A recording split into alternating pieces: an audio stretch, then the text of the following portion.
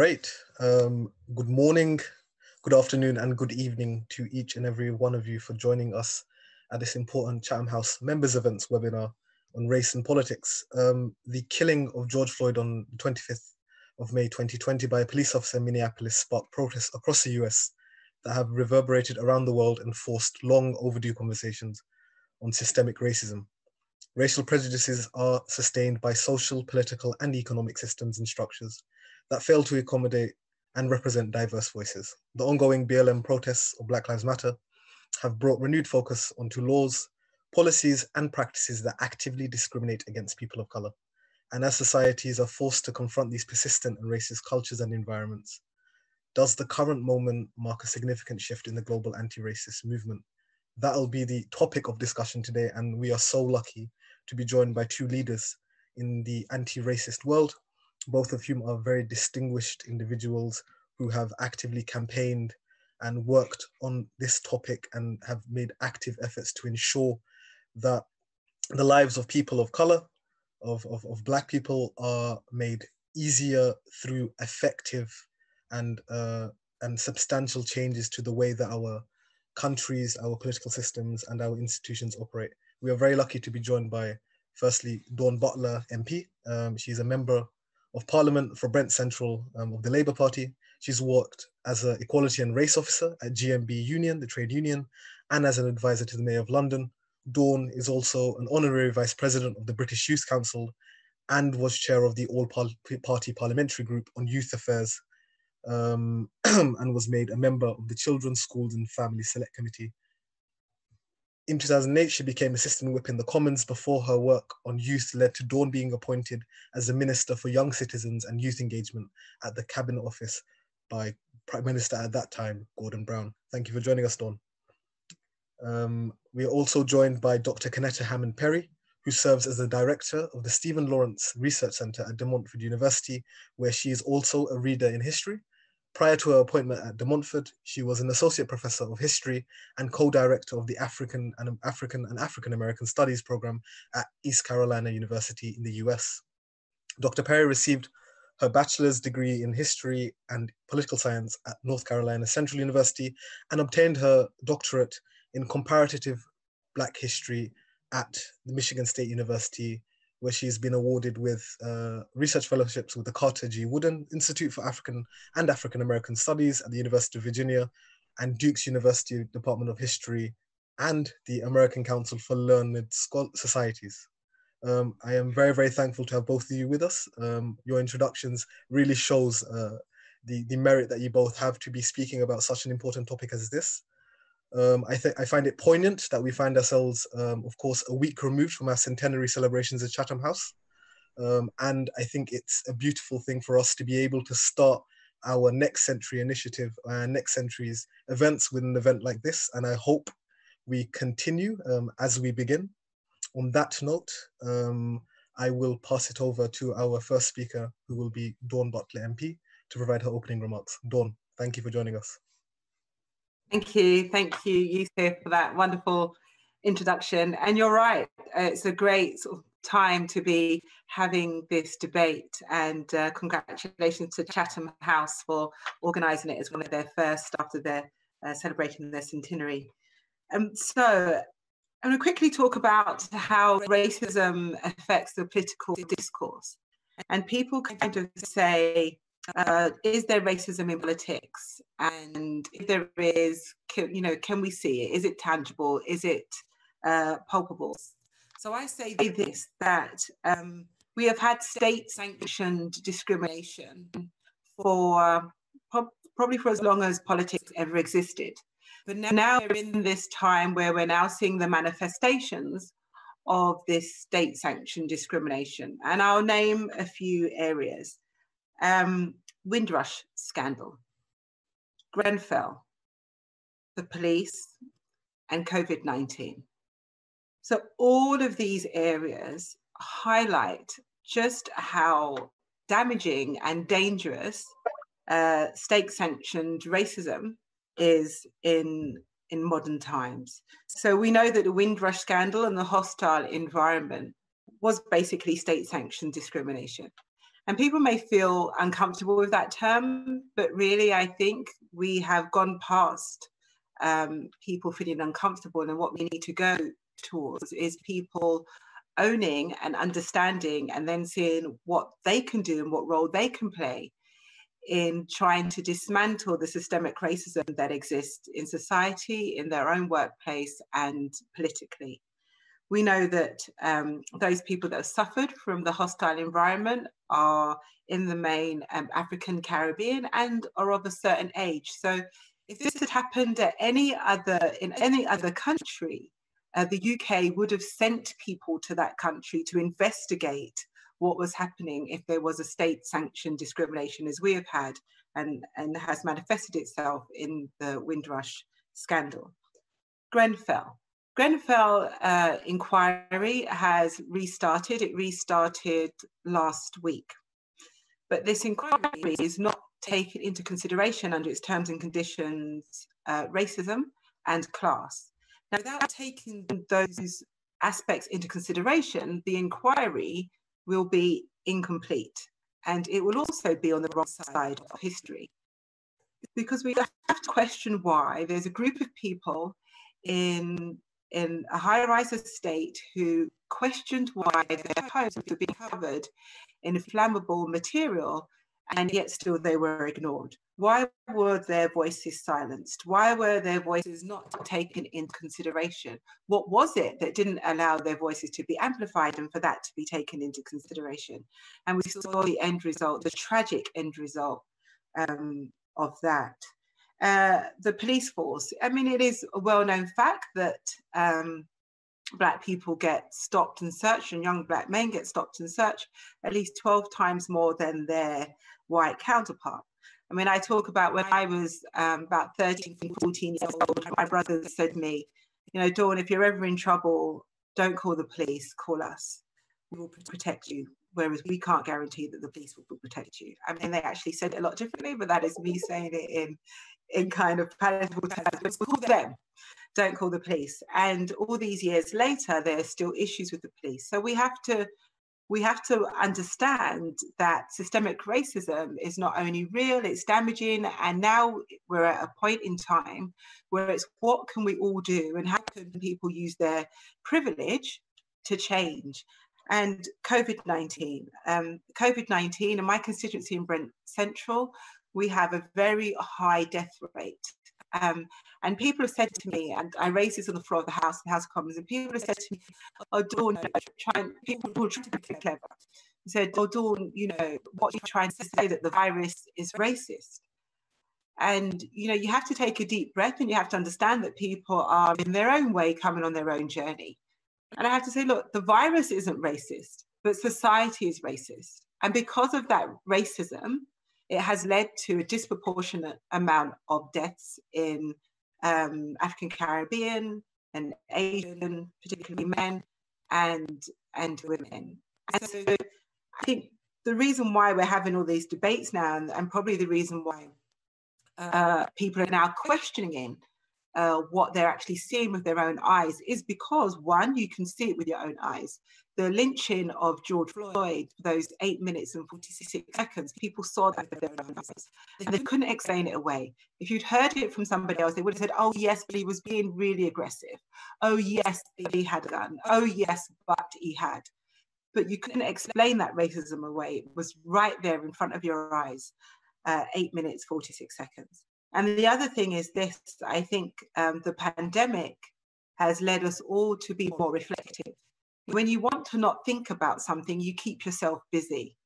And actually, COVID 19 and uh, the pandemic has meant that our lives have been steadied and has been stilled for a while. And because it's been stilled for a while, we're now thinking about things and people are now thinking about things. And that is why when and, and I'll end on this. Um, I'm I'm kind of optimistic in this moment because when you look at the people who've taken to the streets, uh, there are people who would have normally just as maybe have sat at home, but they've been sitting at home for weeks and months and they've seen this racism played out in front of their own very eyes. And they're now saying, or how comes I didn't see that before? How comes I didn't recognize that before? And now I need to do something about it. And that's why I'm optimistic about this moment in time. Thank you. Thank you so much, Dawn, for those uh, for those great words. I think there's something there's so much to learn from exactly what you've said, and I think I find it particularly interesting.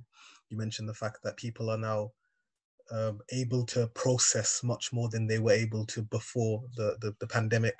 Life just moved on, I think, and, and we've heard these names, whether it be Eric Garner, whether it be Sandra Bland, amongst others, where individuals have passed away and then there's been upset and people have moved on relatively quickly. But because of the pandemic, everyone is to a certain extent stuck to just dwell over why these things are happening. And uh, thank you so much for that in particular. Um, I will pass on to Dr. Canetti, but ju- Dr. Kennetta, but just before I do, I'll mention that, of course, this event is is being recorded and is is live streamed, which also means that you're able to tweet um, any thoughts you may have or any of the words of the speakers on Twitter using the hashtags CH events. And I'm sure many of the words that Dawn and Dr. Kennetta um, say will be things that are poignant enough for you to share on your social media. Um, now passing it over to Dr. Kennetta. Hi, thank you again for having me. It's, it's really an honor to, to be a part of this panel and, and in this discussion today. And I, I, think I'll just sort of really pick up where, um, where Dawn left off in terms of thinking about what um, this moment makes possible. And I think, um, you know, there is something about the scale and scope of what we've seen in the last uh, couple of weeks that feels different or you know it feels like a moment of, of, different kinds of possibility and i do think the backdrop of covid-19 and what that sets in motion in terms of of what people are thinking about and what becomes more visible in the day-to-day that's always been there um, but there's a way in which um, the backdrop of covid-19 brings all of that into really uh, clear focus um, so, you know, I was reading something uh, this morning, uh, an interview with Naomi Klein, where she was sort of talking about even sort of in our day to day, the things that we touch, um, you know, is is that that's something that we're relating to differently. We're thinking about where was this before i touched it? Um, and again that's making us think about capitalism differently. So that's making us think about all sorts of different kinds of inequalities. We're thinking about the journey by which packages come to our house and the key workers that are involved in that. And I definitely think that's a, a, an important backdrop um, because I think it's where we sort of hear all the time that COVID 19 has magnified our ability to see pre existing racial inequalities. I also think it sort of magnified our ability to notice, um, to notice those things that have been for so often unspoken, um, disregarded, or unthought about, um, but that were there all the time. I think COVID 19 has really heightened our collective senses in regard to how we notice day to day inequalities and how they're experienced, um, like racism how racism is is experienced. So again that point about reflection i think is so critical because i think the other piece about the reflection thing is that that COVID-19 sets the backdrop for people to think about what wasn't working in terms of business as usual. What do we not want to return to? Um, you know, what what was there that that we don't want to go back to in terms of any kind of new normal? And people are raising that as a question. And I think um, you know that has also sort of set the backdrop for some of the ways that people have have been responsive to the ways in which we've been able to see and bear witness to um, really crimes against humanity, I would argue, in terms of what happened to, to George Floyd. So again, those things have been there, but our, our sensibility to sort of notice them, I think has been a really big part of, of this moment. One of the things that I'll sort of talk a little bit about is, is sort of thinking about some of the parallels between the US and the UK. And, and I think, you know, in many ways, they're parallel, but they're also just very much intertwined. Um, we share the same histories of colonialism and enslavement. Um, last year, there was a lot of conversation in the US about the year 1619 and what we make of it. But one of the things that, you know, I, I saw some of the media headlines in the UK, and it was like, you can't divorce that from the fact that 1619 what was the US and if that's a starting point for thinking about race and racism in the US um, it was a British colony at that time. And so, in many ways, part of what we're seeing on both sides of the Atlantic is sort of um, the, the sort of continued legacy of British colonialism and a British imperial history of enslavement. And I think that's something that also sort of um, unites or sort of intertwines um, these moments as we're looking at them on both sides of the um, both sides of the Atlantic.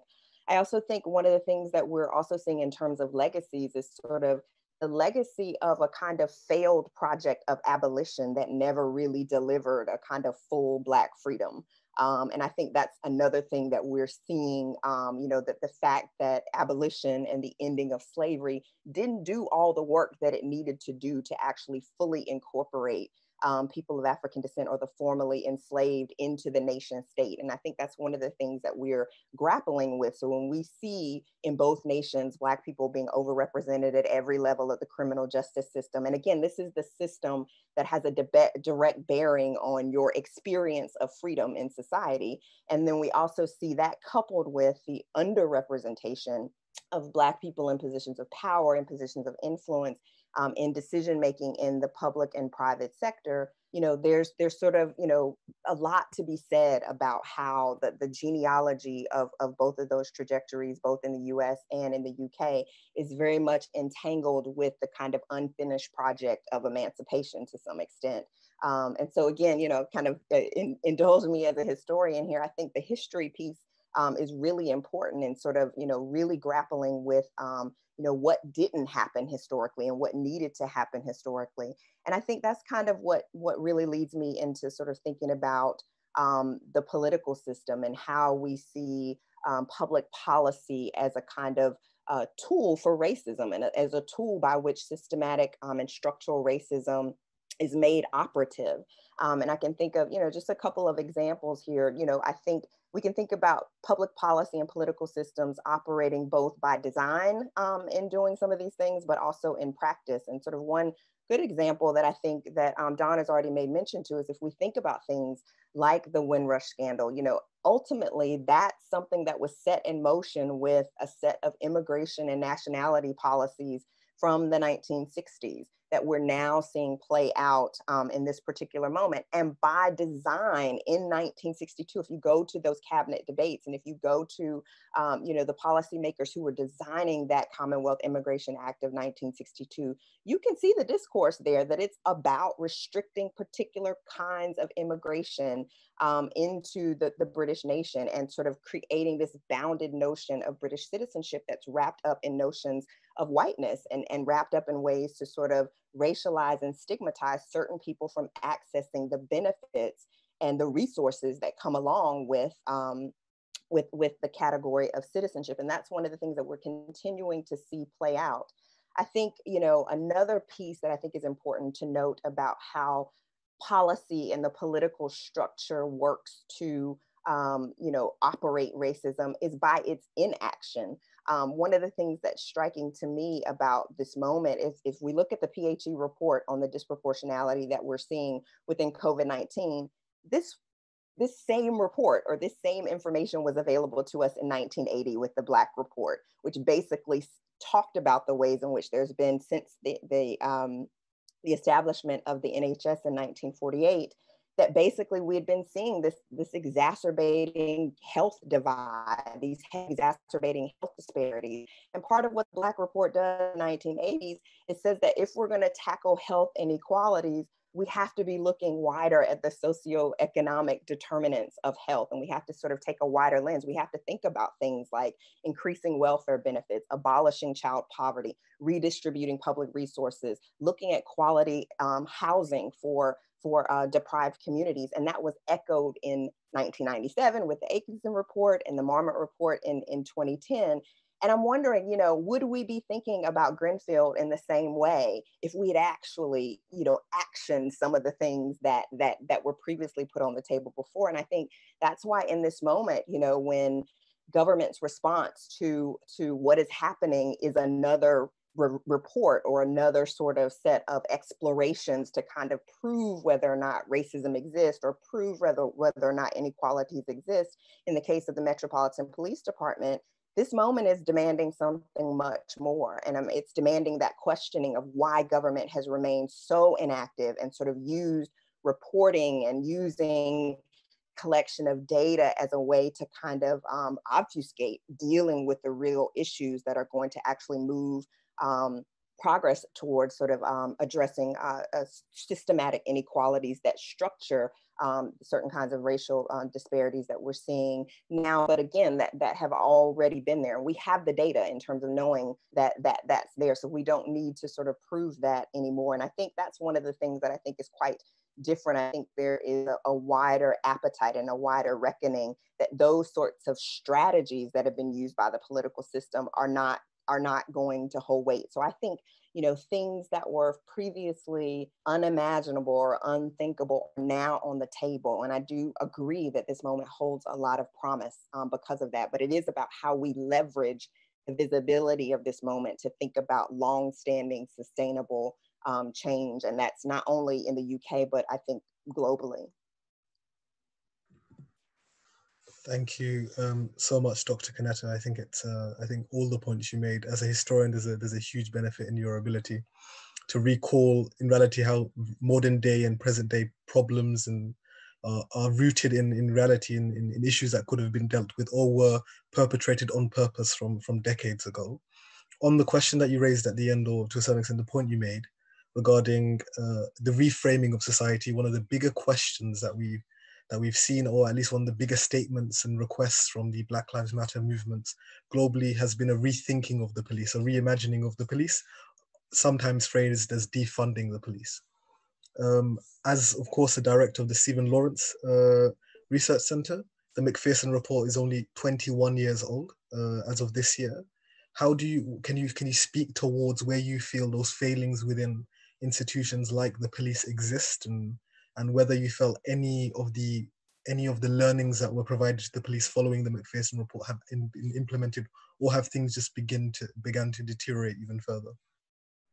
Yeah, I mean, I think Macpherson is an interesting kind of benchmark for some of these conversations. I think on the one hand, there's a lot that was never sort of dealt with that Macpherson was pointing us to. Particularly, I think one of the areas that, um, in terms of the work that we're doing at the Stephen Lawrence Research Center at De Montfort, is to pay attention to the unfinished agenda regarding Macpherson in, in, in relation to issues around education. Um, you know, it was Macpherson wasn't just about the police, and it wasn't just a statement about um, institutional racism within um, policing, but it also was sort of making a bigger conversation about um, things around the curriculum that needed to be addressed, and that's definitely one of the areas that we're um, we're very interested in. But I also think, you know, this this particular, you know, moment that that I'm sort of thinking through is I'm also thinking about how, you know, um, there are ways in which notions about abolishing the police and defunding the police are also sort of saying, you know, whereas Macpherson was about how do we reform, um, I actually think the conversations that we're entering into now are actually like, how do we actually tear it up and acknowledge that it from from its inception, it was not necessarily built to deliver a kind of equal justice for everyone in society. And I think that's a really powerful proposition that we're, we're actually sort of saying, you know, we're, we're not just, I think Afua Hirsch had a great piece that sort of highlighting the ways in which what we're seeing is not the failing of, of the state or the failing of these different arms of the state, but they're actually doing what they're designed to do. They're doing what um, what the, the, the the laws behind them, you know, that, that, that are enabling them to do. And so, how do we reappropriate resources? How do we reimagine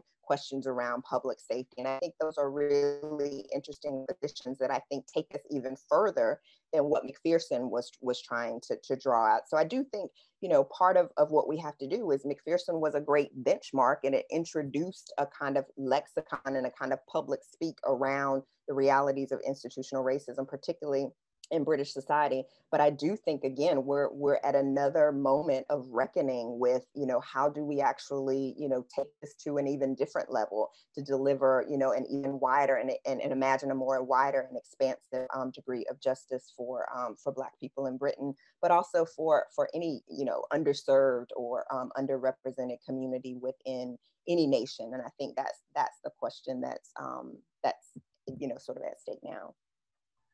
You know, thank you so much for that, Dr. Kennetta. Dawn, do you have anything to speak towards uh, that question or that area?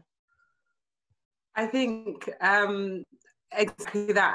I, I, agree with Dr. Kennetta, but I'll also say this. I mean, I do think the police uh, force is operating as a force rather than operating as an establishment that is supposed to protect everybody equally. And the problem with Cressida's Dick's response to institutional uh, racism is to talk about um, how she doesn't think that it is a useful term. Um, but it but it is a factual term, and in its reality, the police is still institutionally racist. So, if your first reaction is to put up a defence, then you are defending an institutionally racist system, and so therefore you are not part of the problem. I mean, you're part of the problem, you're not part of the solution. And actually, she should be striving to be part of the solution. So instead of saying, um, I don't find it um, a useful term, or if you want to describe it as such, what you're doing is you are putting the blame on the person that's being uh, discriminated against rather than taking the responsibility as it is your job to do as the head of that organization. And this is what this is what you will find in organizations that don't want to change.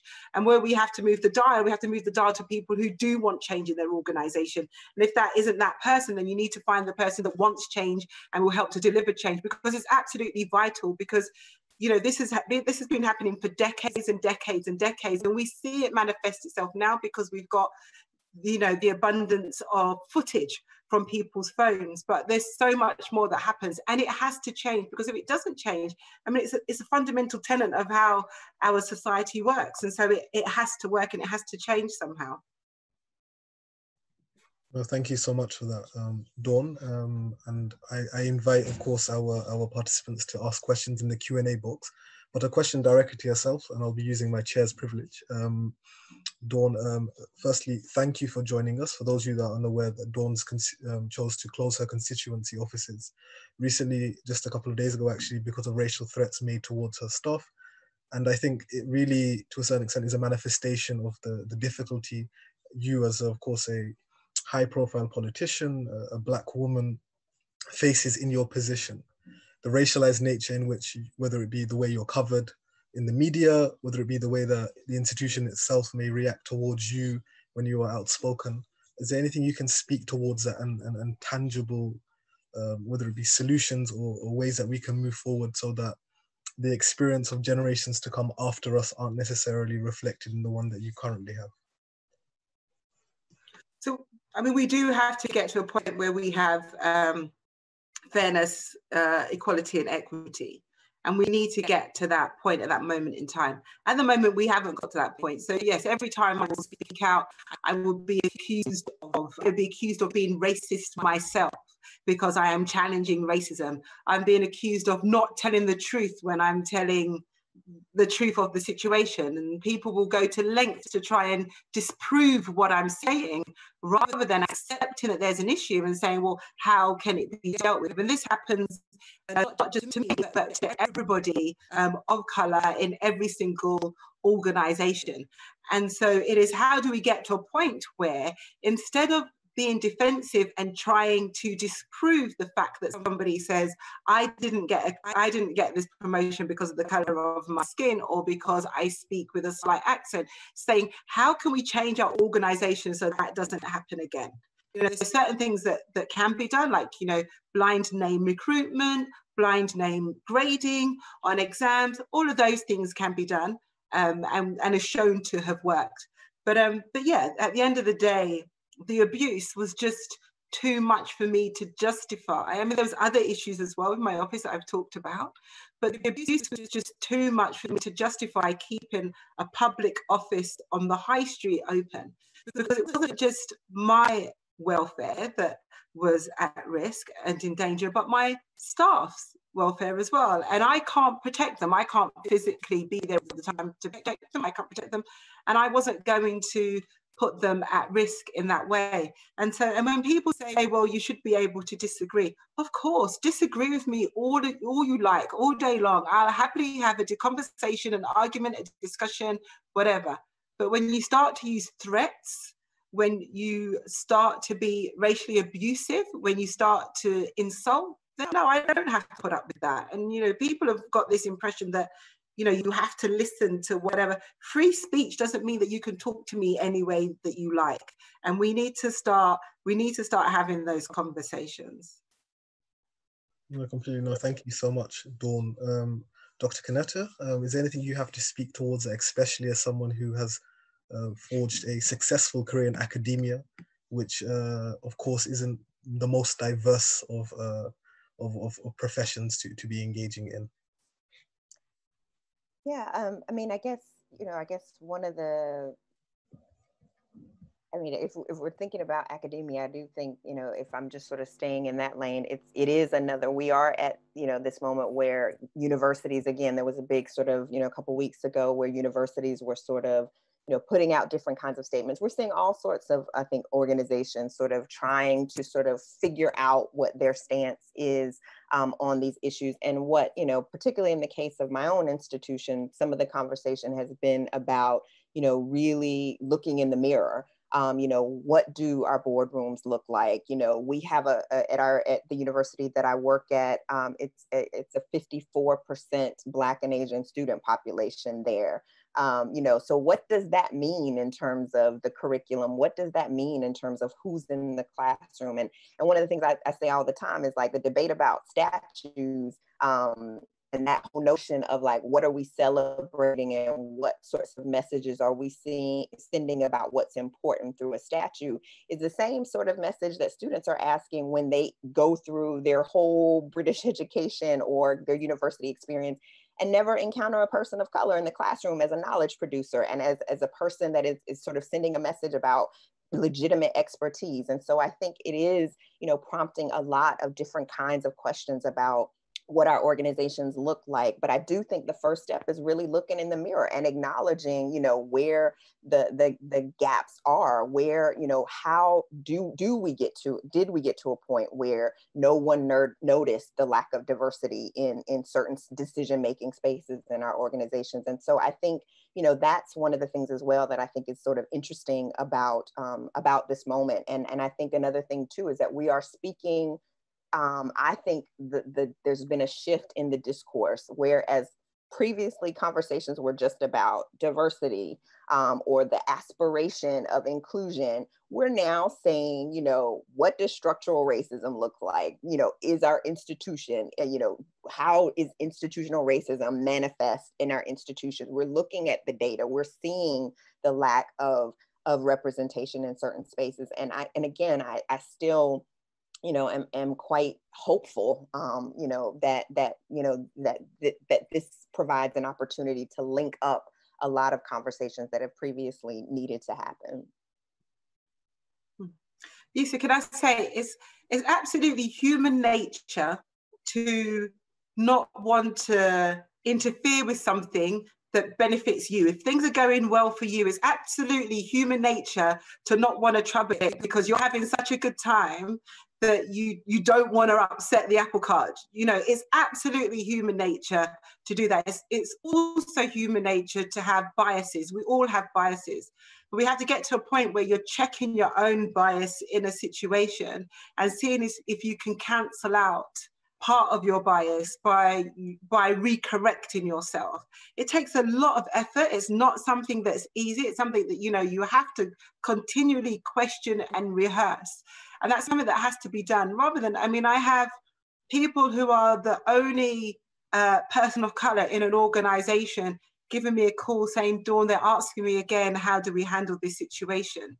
You know, and it's a lot of pressure on this one person that's employed in an organization to take all of that pressure on their shoulders. You know, it is a case, as Dr. Kennetta was saying, where actually some people have to just question themselves first, address what they're saying, and then come to solution themselves and say, look, will this help if I did this that way? Would this help if I questioned this person for you? Because that that privilege, that white privilege works. You know, it works. Otherwise, otherwise it wouldn't work, if you know what I mean. So you can use it for good as well as using it for just um, self-satisfaction.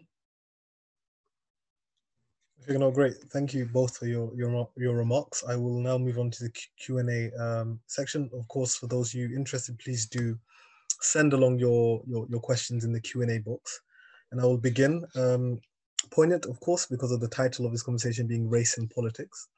Um, to you, Dawn. Um, how can political representation be improved in areas where BAME communities feel unrepresented and polarized by manifestos or policies of, of, of I'm assuming, all the political parties?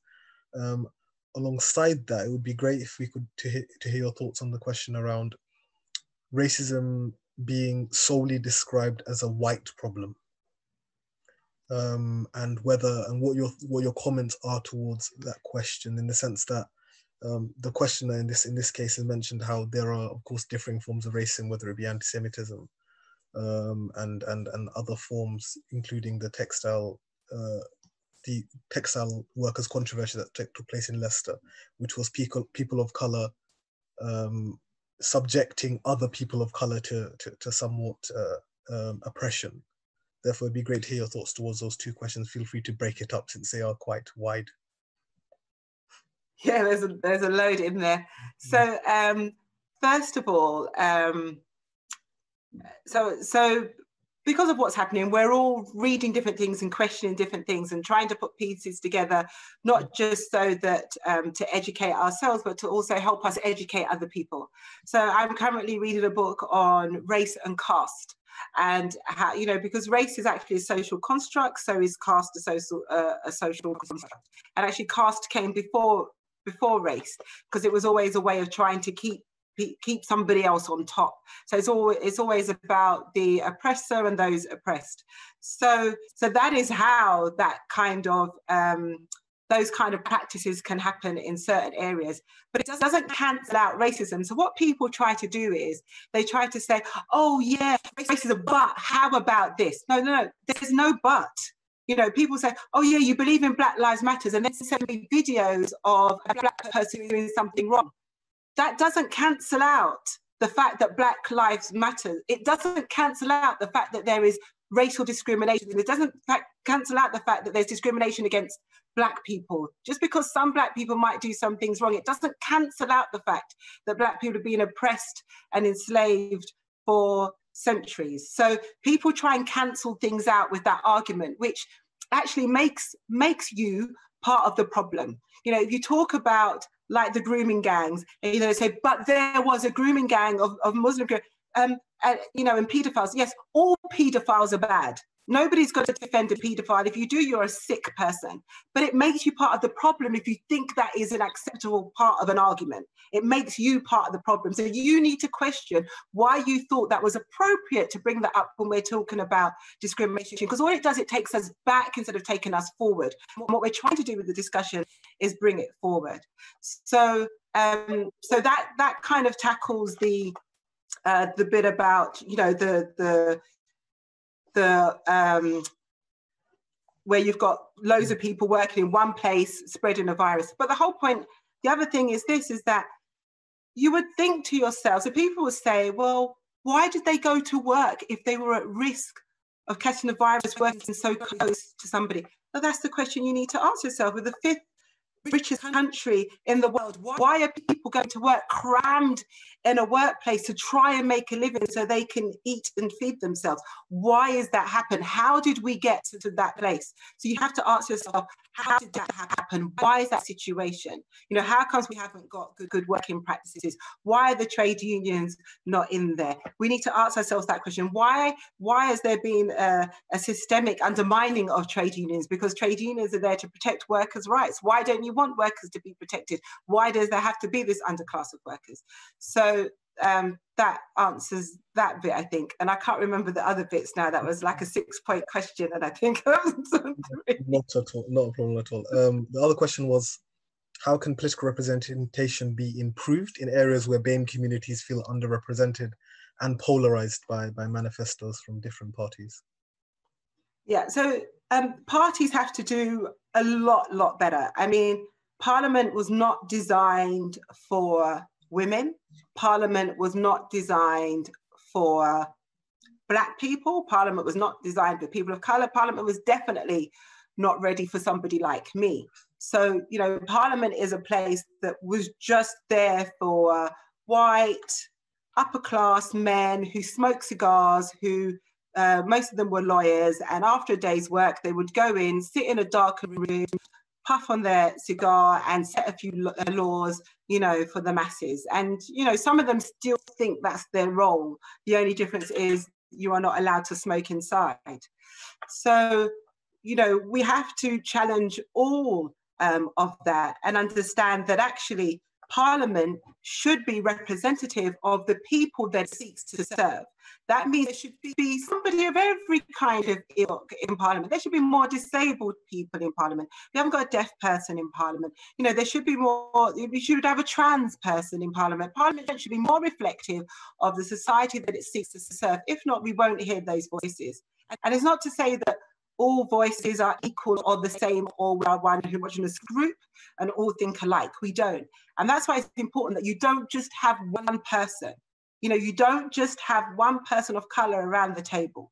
Because if you have that one person of color, you, you put too much pressure on that person, and that person then feels they might have to act a certain way to assimilate into into the room, into the conversation, which might not reflect how they really think, or it might reflect what they think because of their background and their upbringing. And that's why it's important that you don't just have um, one person. But political parties are are way behind and needs to change. The Labour Party is better than all the other parties put together in terms of representation, but we still have a long way to go. I think the latest figure is that it takes that it will take another 150 years before we're truly represented, and I will be long gone by then, I'm sure. Um, let's hope we get there earlier than. um, no, no, thank you so much, uh, Dr. Kennetta. Um, following up on, on, on, the comments that were made earlier regarding um, white privilege and white denial and silence, what kind of tools and strategies do you think might work with regards to tackling this issue um, in different types of situations? And of course, you can speak towards your experiences having spoken out on this, especially with regards to academia. Alongside that, um, there is there is a question focusing on how the American the American model with regards to policing in America and the crisis in, in, in relations with regards to um, black communities in the, in the, American and, and and the UK and American leadership. Do you feel that there are general tendencies involving race and ethnicity are similar in the UK and the US? Or do you feel they're different having experienced both contexts, if you understand what I mean? Do you does does that question make sense? Yeah, I'll, I'll, I'll try to speak to it a little okay. bit um, so just to kind of start about some of the things, you know, just practical steps to think mm-hmm. about, you know, what works. I do think um, there's a huge education component, um, you know, again, to kind of go back to, to my area, um, that it matters, you know, what uh, is taught in the curriculum. It matters whether or not students, um, there was an incredible uh, documentary on Channel 4 a couple of uh, weeks ago, um, the school that tried to end racism. It matters to begin introducing some of these concepts early on um, to, to think about how, you know, because one of the things that was really interesting about that documentary is that it was at work in the school, but the conversation went home to the parents. I'm sure it didn't end there. Um, you know, they were interacting with public spaces. So again, I think there's a there's a big education piece. Um, we we have to reckon with the multiracial, multicultural history of Britain as a nation that is sort of intimately connected to the history of Britain as an empire. We have to reckon with, you know, what didn't happen at abolition um, that that set in motion the legacy of things that we're still dealing with. I mean, literally, we just paid the bill on, you know, compensation to slave owners in 2015. Like, come on. So, like, there's a real um, you know, reckoning with history that I think is really important. I also think, you know, again, alongside that point with what was what's happening in that documentary is that, you know, we do have to sort of invest in, and that's one of the things I do think that that I am seeing more conversations around is investing in developing a kind of racial literacy, developing some some some ability to talk more fluently about race and racism and to to to name it in in in particular kinds of ways and to understand it. I mean, one of the things that I always when I'm trying to talk about racism, I'm, I'm also trying to tell people that racism is a proxy for understanding how power is operating. It's really a conversation about power versus disempowerment and how that is happening um, and how we see that empowerment happening um, and that that can be a way into to certain kinds of conversation. Just to the point someone asked about different forms of racism yes we can have um, different kinds of conversations about different forms of racism because again you know we're, we're mapping on different kinds of power relations. Now i do think you know with black lives matter part of what we we are sort of trying to hold in view is a particular kind of conversation about anti-black racism. However what the demonstrations have shown us what the visibility of this moment has shown us is that that's not an exclusive conversation. That's a conversation that, that can be the source of solidarities across racial, ethnic, religious, um, you know, ab- ability lines, gender lines, all of those sorts of things. And I think about my own self as, you know, I, am not just Black, I'm a Black woman. Um, I'm, a, I'm a Black woman, you know, with a particular kind of background. I'm a Black woman that is not a citizen in this country. Like, you know, so all of those things have to be held in view at the same time. And we have to sort of think in a more robust way. And, and to Dawn's point about the kind of ways in which people sort of move to have these moves to kind of cancel conversations about race. Um, one of the things I think is a sort of a real way that it happens all the times in academia, but in public spaces is to use class and to sort of say, well, what about class?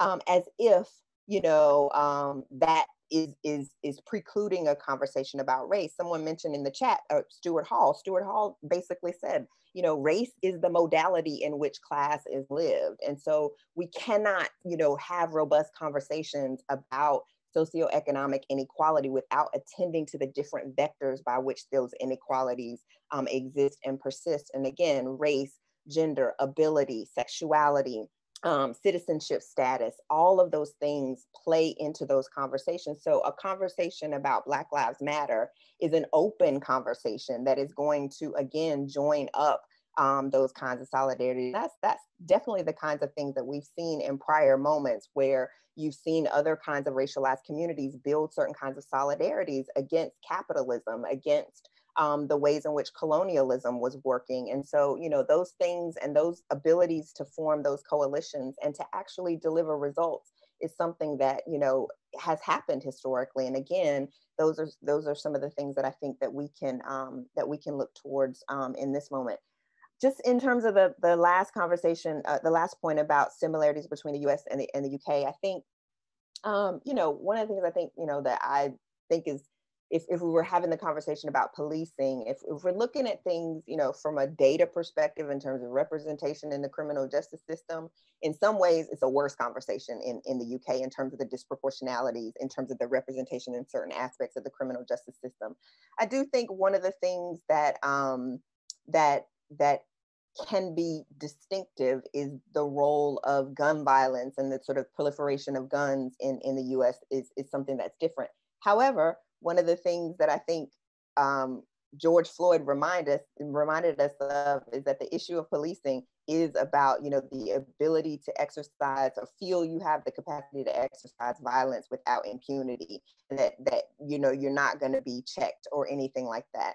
You know that that there is not going to be a firing there is not going to be there aren't going to be charges pressed. And again that's a similar history in the UK again, where we're seeing, you know, this history of unjust policing practices, and again, the ways in which um, there's no accountability. There's not even, you know, not charges not even brought, and so that ability to to do those things and to sort of, you know, disregard um, Black life and sort of not recognize um, people as human beings I think is, is something that's very similar, but sometimes the ways in which that happens is can be different in these um, in, in these two different settings, but nonetheless, the outcomes um, are, are still the same or, or very similar.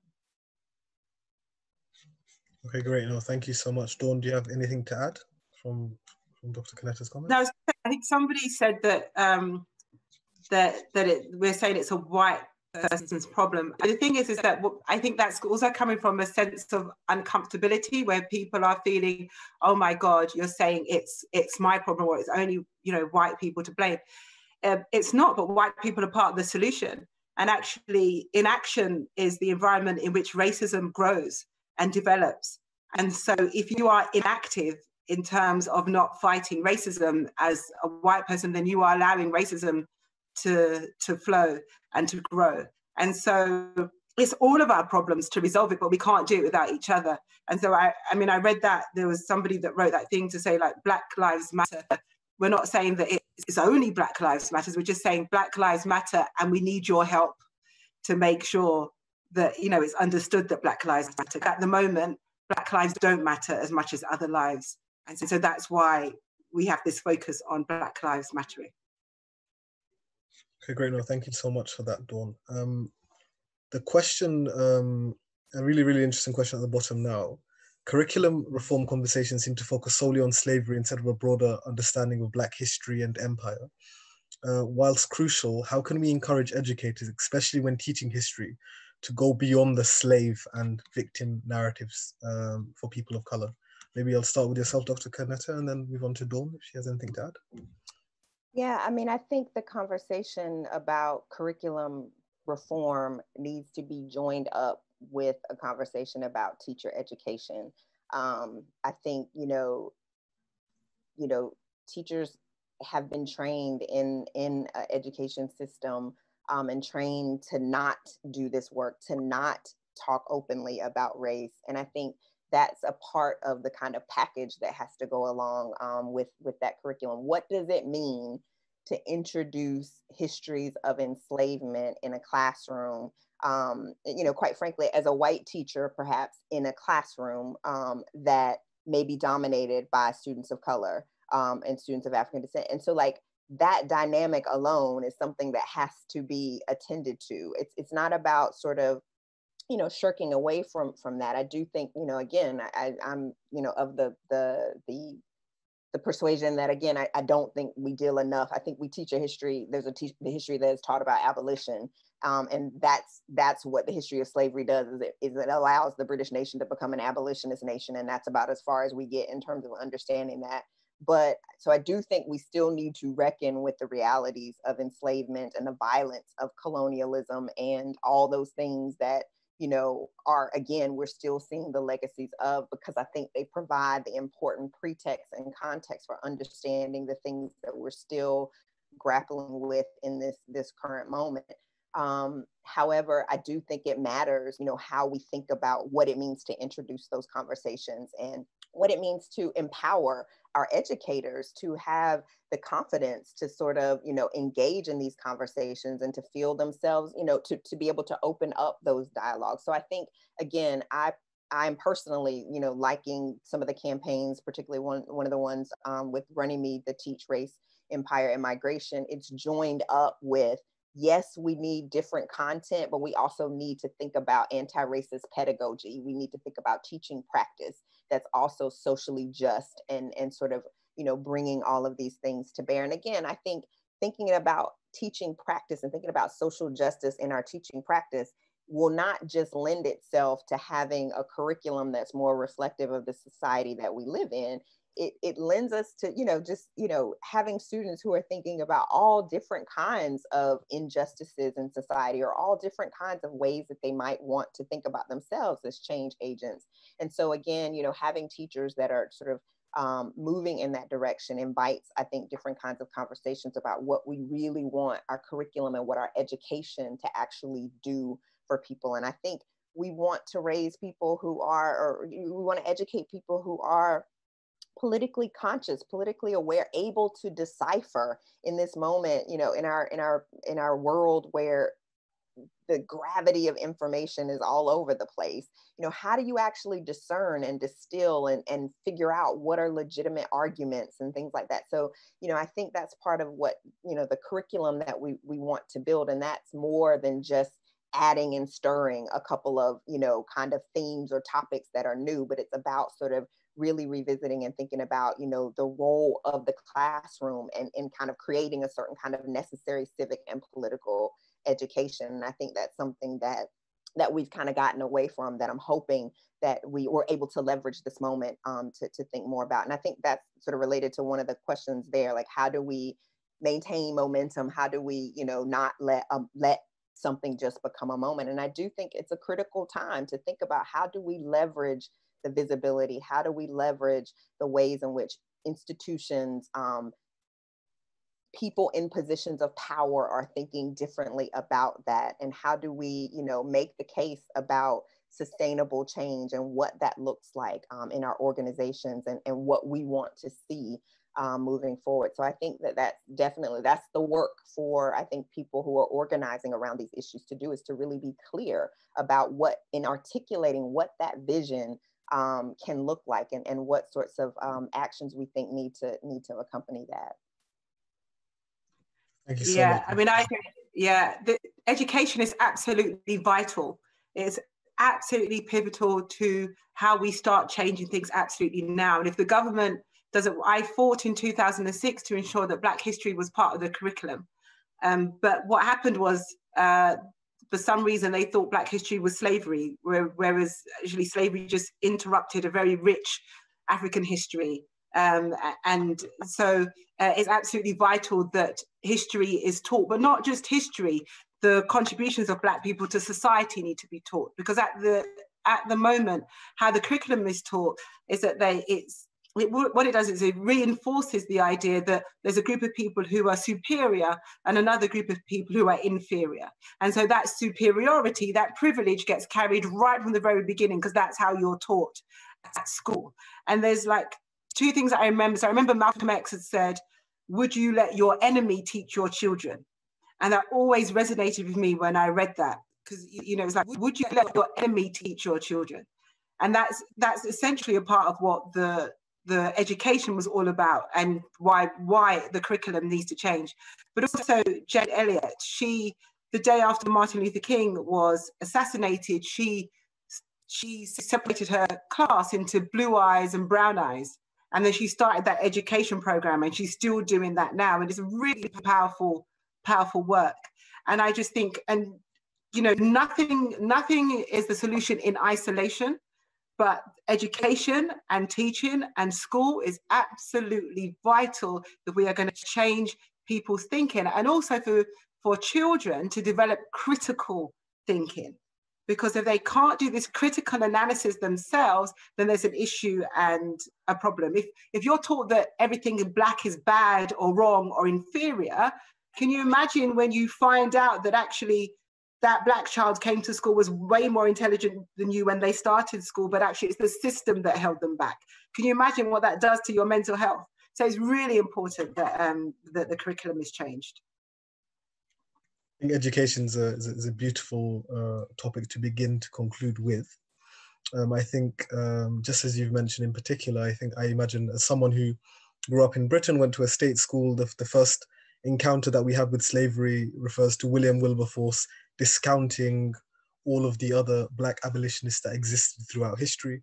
And, and I think slavery is probably, like you said, the, the only black history you end up learning, which of course begins a inferiority complex for those of us that are interested in, in, in, in of course, um, excelling within within different, uh, of course, historical or or otherwise. Um, I think now we'll probably begin to to conclude, and I'd love to op- offer you both the opportunity to provide uh, closing remarks um, and maybe just a, just a small thing from my side in the sense that corporations, political parties, universities have all, some would say, jumped on a bandwagon because you can commercialize Black Lives Matter, you can commodify it. It's something that's cool, it's hip, and it allows you to gain that social capital um, within your own industries.